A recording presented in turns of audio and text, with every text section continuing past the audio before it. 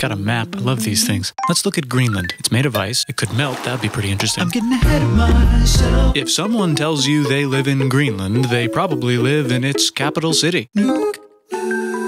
There's a school, a bus, a mall, a church, and a very wavy building to do concerts. I'll be up here on a pedestal holding my stick. I'm He's the founder. Guess where I'm from? That's right. I came here to make everyone Christian. Someone did that before, but it wore off, so I came here to do it again. It was a smashing success, and now I'm a statue in three places. Want to know more about Greenland? Too bad. I'm going to tell you about Mexico.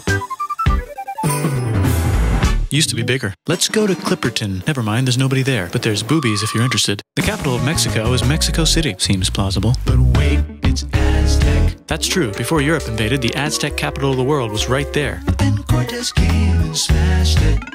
Meanwhile, still unsmashed is the Inca Empire. Very powerful, unique empire. No wheels in this empire. Very powerful nonetheless. Until Francisco Pizarro Came and smashed it. Join me now as I sail over the Andes Mountains and contemplate the vast spiritual emptiness of doing a video without a topic. Surely I've frolicked too hard. I shall search for my punishment. Here's Antarctica. They must have lots of punishments there.